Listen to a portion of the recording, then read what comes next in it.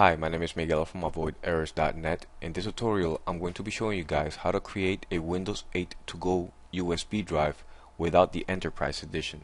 For those of you who don't know what Windows to go is, please read the description box below. For this tutorial, I'll be using AOMEI Partition Assistant. It's free, the link is in the description box below. I'm also going to be using a Windows 8 ISO Pro version, not the Enterprise. And an external hard drive which is 300 gigs. This is the only one I have available. But you can use a smaller USB thumb drive for this tutorial. Just make sure it's bigger than 50 gigs. So with that said, go ahead and run AOMEI Partition Assistant. Yes to the UAC. Windows to Go Creator on the left pane.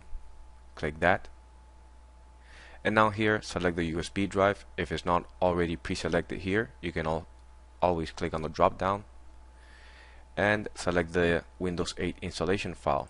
I'll browse for my Windows 8 ISO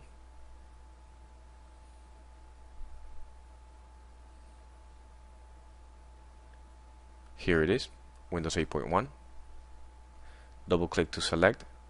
Click on OK. And click on proceed very simple.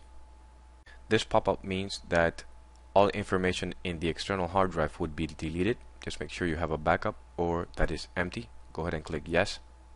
And it will start extracting all necessary files for you to have a portable Windows 8 on your external or USB drive. Once finished here, click on OK. Now we are ready to uh, plug it into a computer and boot from that Windows 8 installed on that external drive. So here's my external drive. It's plugged into my test computer here. So I'll turn it on and change the boot sequence to boot from the uh, external USB drive. In my case, is uh, F10 boot menu. Here select the first boot device which is a hard disk and then from this menu I'll select the USB hard drive and press enter. It should be the same or similar in your case. Now this is not going to install anything, it's just going to run the Windows 8 operating system installed on your external drive.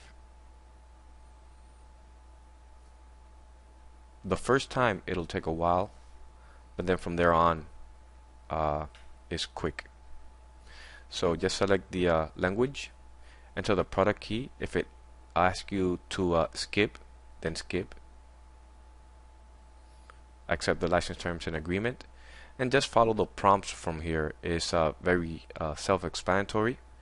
And you'll have a successful um, operating system running from the external drive Thank you for watching this video. My name is Miguel. If you have any questions, feel free to post them in the comment section below. Thank you.